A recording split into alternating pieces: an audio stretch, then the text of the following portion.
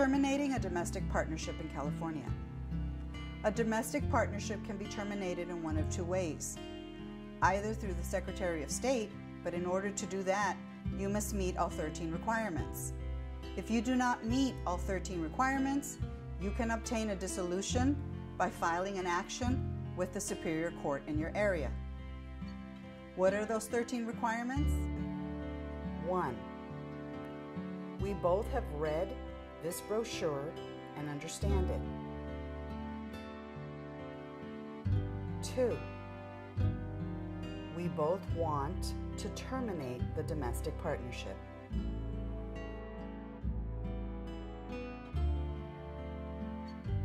Three, we both have not been registered as domestic partners more than five years. Four, no children were born to us before or during the domestic partnership.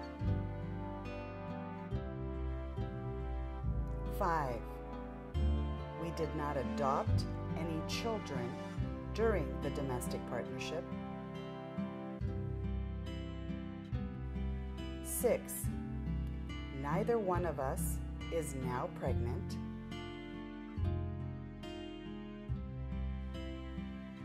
Seven, neither one of you owns any part of land or buildings.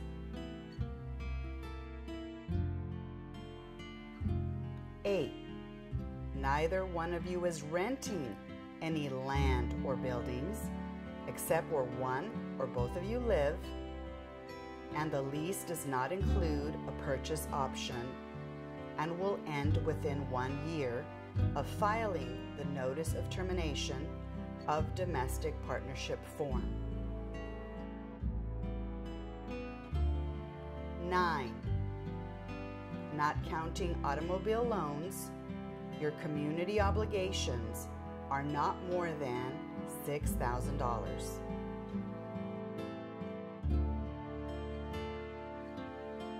Ten, not counting loans and automobiles, your community property is worth less than $38,000.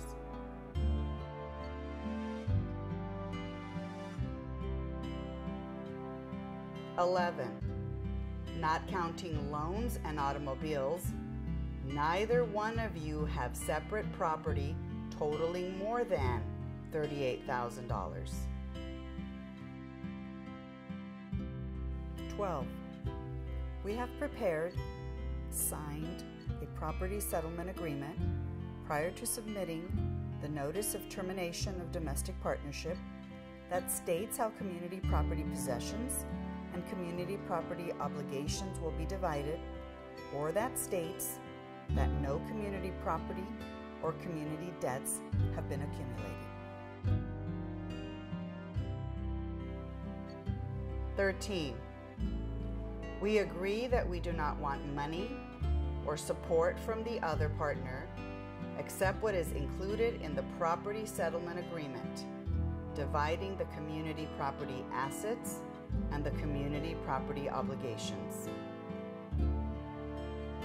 A domestic partnership automatically terminates six months after the filing of the termination of a domestic partnership with the Secretary of State as long as neither party revokes that termination. At Yanez and Associates, we have experience in assisting our domestic relations clients in obtaining an equitable divorce and obtaining custody and visitation orders that are in the best interest of the children and in obtaining child and spousal support orders. Call today for a free consultation.